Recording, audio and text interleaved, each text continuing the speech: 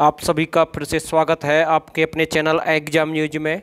दोस्तों, जैसे कि आप देख पा रहे हैं, हरियाणा ग्रुप डी वालों की गई नौकरी, लेटर हुआ जारी। जी हाँ वेटिंग वालों को मिलेगी नौकरी। दोस्तों, बिल्कुल सही बात है, संपूर्ण जानकारी आपको इस वीडियो में मिल जाएगी। बस हमारी आपसे एक ही रिक्वेस्ट है, अगर आप हमारे चैनल पर पहली बार जुड़े हैं तो प्लीज़ चैनल ज़रूर सब्सक्राइब कर दें। इस बटन को आप ज़रूर दबाएँ एक बार। और दोस्तों, बेल आइकन वाला बटन भी ज़रूर दबा दें ताकि भविष्य में हम कोई वीडियो अपलोड करें, उसका सीधा नोटिफिकेशन आपको मिल सके।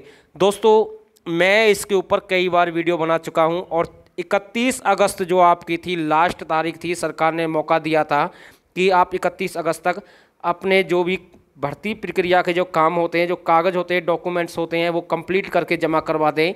लेकिन बहुत सारे ऐसे थे जिन्होंने डॉक्यूमेंट्स तैयार नहीं करवाए या उनके पास डॉक्यूमेंट नहीं थे। अब उनकी नौकरी जाएगी। जी हाँ लेटर जारी हो चुका है।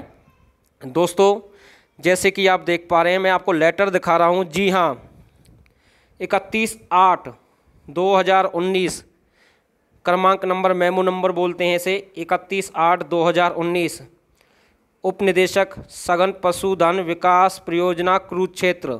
उपमंडल अधिकारी, पशुपालन एवं डेयरी थानेसर पेहोवा।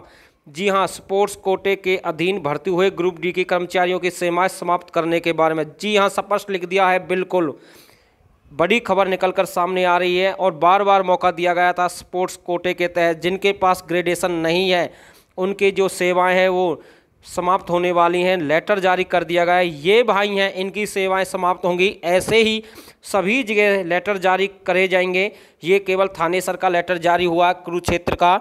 ऐसे ही सभी के अलग अलग लेटर जारी हो जाएँगे और बहुत सारी जो वैकेंसी हैं, वो समाप्त हो जाएँगी। हर डिपार्टमेंट में ये देखे जाएगा कि कौन सी भर्ती के तहत इनका नंबर आया है स्पोर्ट्स ग्रेडेशन के तहत या किसी दूसरे के तहत। सारी जानकारी जुटाने की कोशिश कर रही है सरकार अपनी तरफ़ से।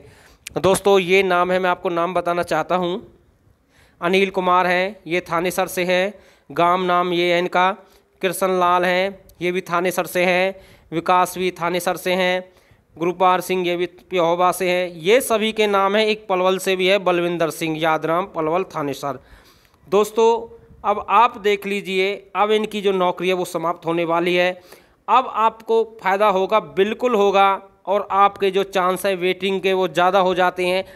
वेटिंग क्लियर होगी। इसके ऊपर जो बहुत सारे जो युवा हैं, वो कल भी जा रहे हैं पंचकुला और वहाँ पर अपनी मांग रखेंगे। तीन तारीख है। जी हाँ तीन सितंबर को जा रहे हैं। आप भी भारी संख्या में जाएँ, सभी उनका साथ निभाएँ।